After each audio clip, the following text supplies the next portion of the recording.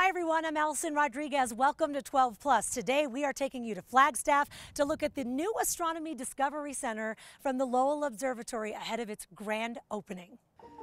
Okay, Kevin, thank you so much for meeting us here at the entrance of the Lowell Observatory's new Marley Foundation Astronomy Discovery Center. Right away, I'm already struck.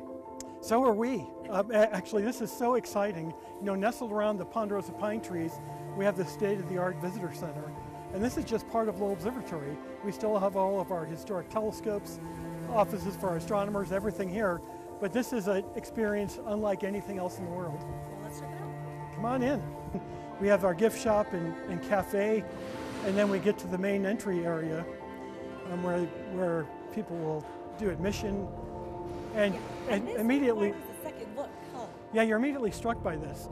The, the theme of this is this is the story of you, from the earliest molecules in the universe till you. And then as you're standing here, um, you can kind of see everything almost. To the left, we have two exhibit areas.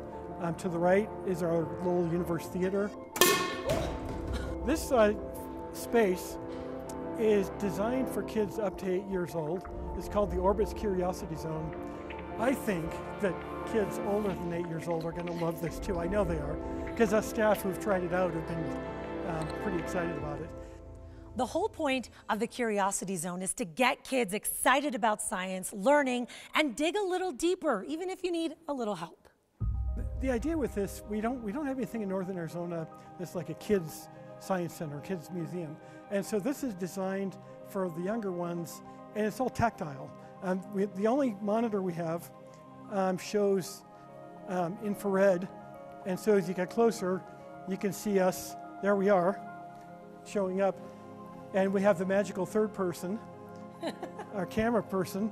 But there we are. So this is the only monitor we have in here. The rest of this is all textile or tactile. Like this, when this is on, you push on this, and you can create rings that come out of here. And this is this is a kind of a, a more traditional science center exhibits in here. Again, I mean, there's more monitors in here, but it's still tactile. Mm-hmm. So like, you come in and you meet our founder, Percival Lowell, and you can you can feel this. You can feel the canals that he thought he was seeing on Mars, and as you touch it, you can hear a message coming on.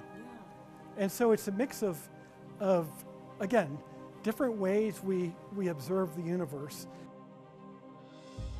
And then over on this side is the Lowell Universe Theater. And this seats about 180 people.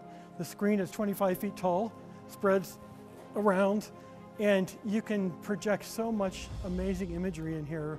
And we're also going to have live programs in here. And so not only might we play some videos sometime, um, and these videos are specially made for this aspect, but also um, we'll have actors that are part of the program um, interacting with the crowd.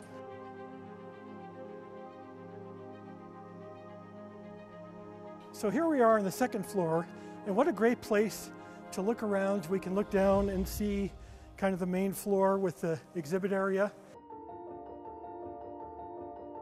Uh, What great views. During the nighttime, we can look up and really get a good view of the surroundings, but during the daytime, we do the same thing. Everything we're walking on right now, this is heated. And so when it snows, um, this will melt. You, there are drains in the floor so that um, this will melt and you won't get an accumulation of snow, so we can use this, you know, year round. If it's snowing, and really coming down, we're not going to be out here probably. But otherwise, we can use all of this. This, this is this whole thing up here, heated flooring. And then of course, as we get up here, we get to the seats, and they're all heated. That's why when we look at the seats, you see all this wiring, which seems kind of odd. And that's for the, the heating elements. So again, this seats around 180 people. And we, you know, we call it the, this Richard F. Caris Dark Sky Planetarium.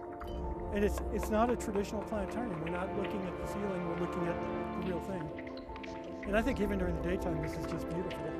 And this goes back to our founder, who said imagi- imagination was vital to any advance in science. Thanks so much for streaming this special sneak peek at the Astronomy Discovery Center by the Lowell Observatory.